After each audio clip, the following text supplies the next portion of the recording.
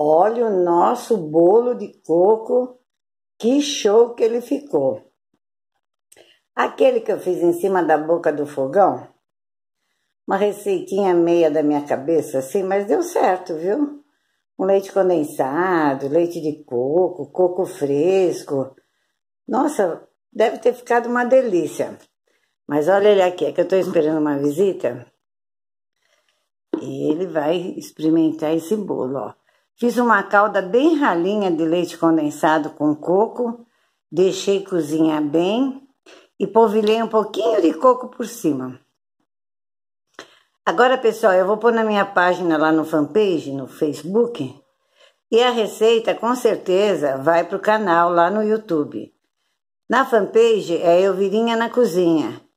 E no YouTube é eu, Elvirinha. Tudo bem, pessoal? Vão lá, dá uma curtida, Coloca um like, um comentário. Eu vou ficar muito feliz de participar com vocês. Tudo bem? Tchau, um beijo a todos. Até o próximo vídeo.